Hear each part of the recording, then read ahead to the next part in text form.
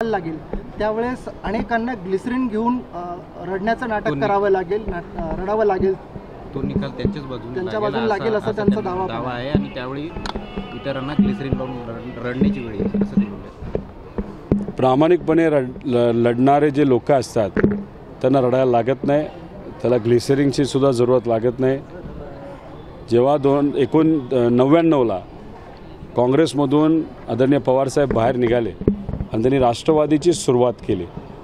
तेव्हा चिन्हही नवीन होतं. बरेचसे नेतेसुद्धा नवीन होते पण साहेबांनी त्या नेत्यांना संधी दिली. चिन्ह नवीन घेऊन लोकात गेलं तेव्हा इंटरनेट नव्हतं व्हॉट्सॲप नव्हते तरीसुद्धा लोकांनी ते स्वीकारलं कारण लोक पवार साहेबांना स्वीकारतात. आत्तासुद्धा समजा जर चिन्ह आमच्या इकडे राहिलं नाही असं आपण समजू तरीसुद्धा आमच्याकडे पवारसाहेब आहेत. पवारसाहेबांचा विचार आहे लोक चिन्हाला लॉयल आहेत असं आम्हाला वाटत नाही. लोक विचाराला लॉयल आहेत. त्यामुळे ज्या लोकांनी विचार सत्तेसाठी आणि स्वहितासाठी बदललेला त्यांना ग्लिसरीन लावूनसुद्धा रडू येऊ शकत नाही कारण का त्या लोकांना हृदयच नाही आहे सामान्य लोकांना हृदय आहे आणि सामान्य लोकांबरोबर आम्ही आहोत. त्यामुळे आम्हाला ग्लिसरीनची जरूरत लागणार नाही.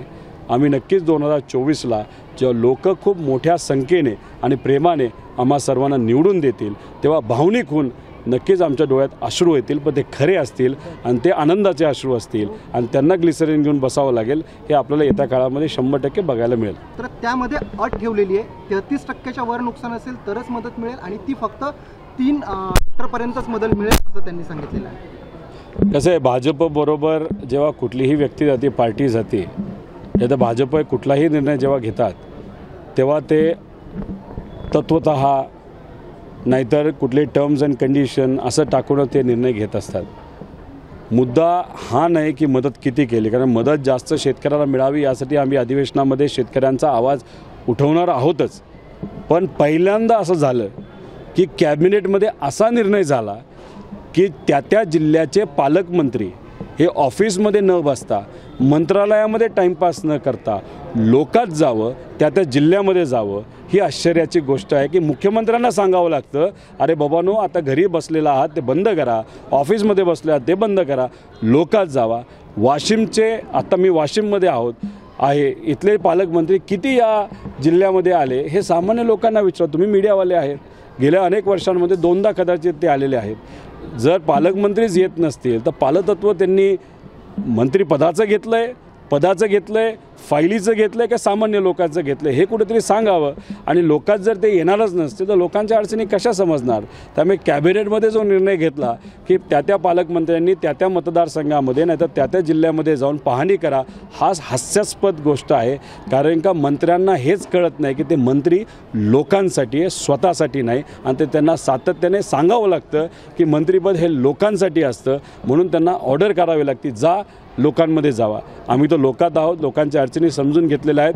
ट्विट केले सोशल मीडियावर सांगितलेलं. आहे आमचं अकाउंट बंद केलं तरी विविध माध्यमातून आम्ही सांगू बोलू आणि अधिवेशनामध्ये सुद्धा सामान्य लोकांचा आवाज म्हणून तिथं या लोकांच्या वतीने लढणार आहोत. मेळावा होतोय. मात्र छगन भुजबळ त्या मेळाव्याला न जाता ते त्याच्या मतदारसंघात पाहणी करतायत. तो त्यांचा त्यांचा वाद आहे. एक आपण सर्वजण समजून घ्या की जेव्हा अजितदादा आणि त्यांच्याबरोबर काही नेत्यांनी बी जे पीबरोबर जाण्याचा निर्णय घेतला त्यामुळे आम्ही दुःखी होतो. दुःखी ह्याच्यासाठी होतो की दादांमध्ये एक क्षमता आहे. मी त्यावेळीसुद्धा बोललो होतो की पुरोगामी विचाराबरोबर दादा राहिले असते तर खूप जबरदस्त मुख्यमंत्री ते होऊ शकले असते आणि लोकांचे मुख्यमंत्री ते झाले असते. पण जेव्हा एखादी व्यक्ती एखादी पार्टी बी जे पीबरोबर जाते तेव्हा बी जे पी टप्प्याटप्प्याने त्या व्यक्तीची ताकद ही कमी करते. आणि आज आपण सर्वांनी ते होताना बघितलेलं आहे. ज्या नेत्यांनी अजितदादांच्या कानात बोलून बोलून निर्णय घेण्यासाठी लावला तेच नेते येत्या काळामध्ये त्या गटाबरोबर राहतील असं वाटत नाही. अनेक त्यातले नेते हे भाजपबरोबर जातील आणि कदाचित त्याची सुरुवात ही भुजबळ साहेबांबरोबर झाली असं वाटतं. काल जो पृथ्वीराज चव्हाणांचा विषय झाला होता त्या संदर्भात बोलताना सुनील तटकरे यांनी सांगितलं की दोन हजार चौदाला पृथ्वीराज चव्हाण यांना बदलून दुसऱ्या कोणाला तरी संधी देणार होते काँग्रेस त्याला राष्ट्रवादीचाही पाठिंबा होता. मात्र त्यांनी तसं केलं नाही आणि म्हणून मग आमचं दोन हजार चौदाला सत्तेत सत्ता आली नाही. जर तसं केलं असतं काँग्रेसने तर पुन्हा एकदा काँग्रेस आणि राष्ट्रवादीची सत्ता आली असती. तसं नव्हतं. माझं व्यक्तिगत असं मत आहे की काही प्रमाणात राष्ट्रवादी असेल काँग्रेस असेल यांच्या पण दोन हजार तेरापासूनच्या चुका आहेत. आपण जेव्हा सातत्याने अनेक वर्ष सत्तेत असतो तेव्हा आपण सामान्य लोकांना गृहित धरायला लागतो. आणि त्यामुळे कधीकधी आपले लोकांच्या हिताचे निर्णय चुकतात. आणि ते काही प्रमाणात त्यावेळेस झालं असावं. त्याच्याचबरोबर बी जे पीने ज्या पद्धतीचा प्रचार हा भ्रष्टाचाराच्या बाबतीत केला तेही कारणीभूत होतं की आम्ही तिथं दोन हजार चौदाला सत्तेत येऊ शकलो नाही. आणि राहिला प्रश्न काही काळ सी एम बदलायचा दोन तीन महिन्याला सी एम बदलून काही होत नसतं. शेवटी आपल्याला जेव्हा इलेक्शन लढायचं असतं लोकांचा विश्वास हा आपल्यावर लागतो. आणि त्यावेळेस जर आपण बघितलं तर बी जे पीली खूप मोठ्या प्रमाणात प्रचार आणि मोदी साहेबांची हवा ही केंद्रात आणि राज्यात असल्यामुळे तिथं आपला पराजय झाला. पण बी जे पी जेव्हा सातत्याने अनेक वर्ष सत्तेत राहण्यानंतर म्हणजे पाच वर्ष सत्तेत राहिल्यानंतर त्याच्यामध्ये अहंकार इतका वाढला की लोकांना आता बी जे पी नकोशी वाटायला लागली.